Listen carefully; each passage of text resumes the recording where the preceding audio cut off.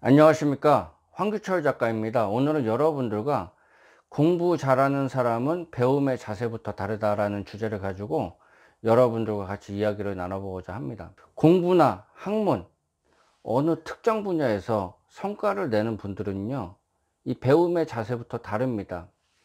우선 자기 자신이 성과를 내려고 그러면은 훌륭한 스승을 만나야 됩니다. 그게 먼저예요 그 스승을 먼저 만나고 그 스승에게 뭔가를 배워야 됩니다. 스승을 잘 만났는데 자기 자신이 자격 요건이 안 돼요. 배움의 자세가 제대로 안 돼 있으면요. 아무리 고승을 만나거나 높은 영역의 그런 지식을 가진 사람이 자기 자신한테 전수를 해준다고 해도 안 됩니다. 여기까지 동의하세요? 저는 오늘 여러분들과 배우기 힘든 사람의 특징을 시리즈로 몇 편에 걸쳐서 여러분들과 같이 이야기를 나눠보려고 합니다. 제가 말씀드리는 것은 불경에서 보면은 16가지로 이런 사람은 정말 가르치기 힘들다 라는 그런 기준을 만들어 놨어요. 그 부분에 대해서 예시를 통해 가지고 같이 이야기를 나눠보고자 합니다. 첫 번째, 나쁜 마음을 가지고 있는 사람. 예를 들자면요. 세상에 대해서 상당히 부정적으로 생각하시는 분들이에요.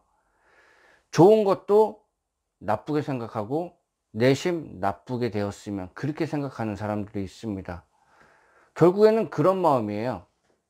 어차피 해도 안 될 텐데. 그런 마음입니다. 이런 사람이 뭘 배우겠습니까? 그냥 어차피 안 될 건데.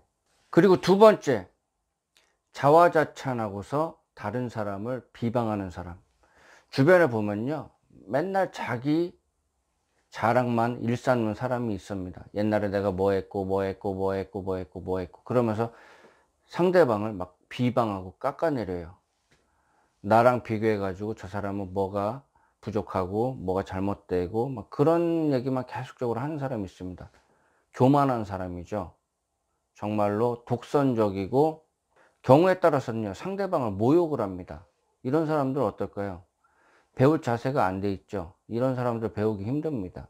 그리고 세 번째 분노와 적개심을 가진 사람이 있습니다. 이런 사람은요 매사에 감정적으로 대합니다. 이런 사람한테 100번을 잘해 주다가 한 번 잘못하면요 적으로 간주를 합니다. 그래서 상대방한테 적개심을 가지고 대해요. 그래서 이런 사람한테 가리킨다. 뭐가 잘못된 것 같은데 방향을 지도해 주고 그러면은 괜히 분노에 휩싸여 가지고 오히려 적을 만들어요. 쓴소리를 하니까 그 사람을 적을 만드는 거죠. 상대방한테 적개심을 가, 집니다 이런 사람이 잘 될까요? 뭐 배우려는 자세가 안 돼 있죠. 주변에 사람들도 없고요. 심지어는 무섭기까지 합니다. 그냥 자연스럽게 독불 장군이 되는 겁니다. 그리고 네 번째, 분노에 차면요. 분노의 참말을 자꾸 밖으로 내뱉어요. 막 진짜 입에 담지도 못할 말. 그런 말을 막 주변에다가 화를 내면서 막 내뱉어요. 이런 사람은요. 가르치기가 힘듭니다. 다섯 번째, 분노의 원인으로요 고집을 부리는 사람이 있습니다. 자기 자신도 알아요 이게 잘못됐다는 거를. 근데 자기 자신이 이제 화가 나니까요 자기가 잘못됐다고 생각해도 그걸 밀어붙이고 그러는 거예요. 독불 장군이죠. 해병대에서 곤조라는 표현을 씁니다. 그래서 곤조를 부린다 그런 얘기를 자주 하는데요.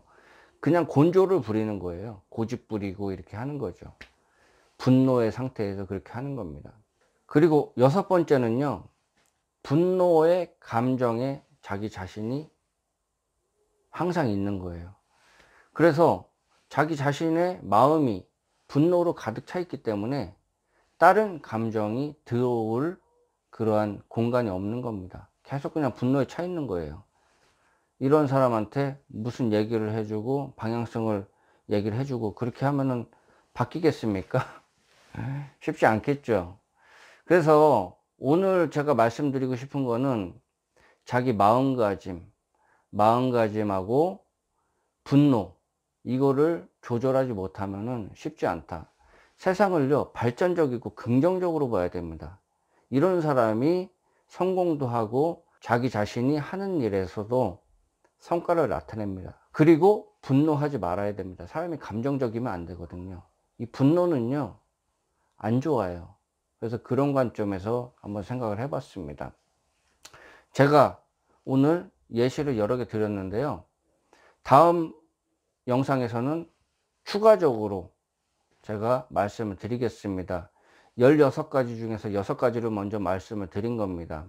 한번 자기 자신을 거울 삼아서 나에게 정말 배움의 위주는 있지만은 내가 이런 성향을 가지고 있지 않나 한번 생각해 보는 그런 계기가 되고요.